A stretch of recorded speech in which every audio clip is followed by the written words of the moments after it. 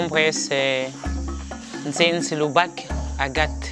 Yo llegué aquí en Haití como fundadora desde el año 2001 ¿Por qué viniste a Haití y concretamente a Rey? a Reggae. Yo vine por Haití, caí en Haití por sorpresa y por una promesa también. Aquí me siento en mi casa, son mi gente. Sí, de verdad que tenemos muchas cosas que cambiaron eh, por todos esos años que pasaron, pero ellos siguen siendo africanos. eh. Y yo aquí me siento en mi casa. Siento que no, nunca he sentido diferencia estando con... Hay momentos que mira a toda esa gente que viene aquí y ve la referencia, ve la cara de la gente con que vivió la misión, ve la referencia de mis familiares en ellos. Quiere decir que hay como una, unas expresiones de la cara, una manera de reír, una, una, una manera de, de, de, de ser.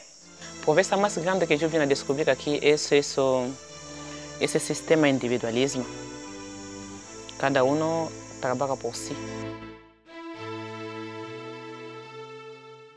Para mí, son los más pobres del mundo en cuanto a material, pero son los más ricos del mundo, porque son pequeños, porque casi les falta de todo. Son como unos niños siempre, uno tiene que hacer por ellos. Cuando me siento solita en mi cama, yo veo que debía estar aquí, Dime la verdad. ¿Eres feliz? muy feliz de lo que está haciendo.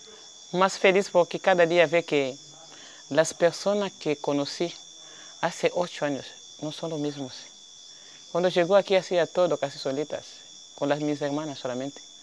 Ahora el pueblo trabaja solito, uno lo que hace es mirar. Feliz soy. Creció mucho esa comunidad, gracias a Dios. ¿Cuántas veces has llorado de emoción frente a tus hermanos? muchas veces. Por una situación que usted quiere hacer algo y que no, no puede hacerlo. Hay situaciones que no, nos despasa completamente. Quiere decir que quiero hacerlo, pero me siento incapaz. Llegó a un momento que ya eso no se puede tocarte. Eso sí. La incapacidad, eso sí me hace llorar. No puedo contar cuántas veces lloro. Muchas veces. De querer ser algo, de querer verlo diferente, de querer eh, que sea mejor. Es que uno cuando no logra eso, sí, hay momentos que me siento tranquilo como fracasaba. Uno uno dice, todo ese tiempo, como si todavía no he hecho nada. Hay todavía un camino que tiene que seguir a hacer. ¿Cuál es la ilusión de tu vida? Mi ilusión, por esa gente, que sea feliz. Me gustaría verlo so- sonreír por esa cosa. ¿Qué le falta a tu felicidad? A mi felicidad, nada.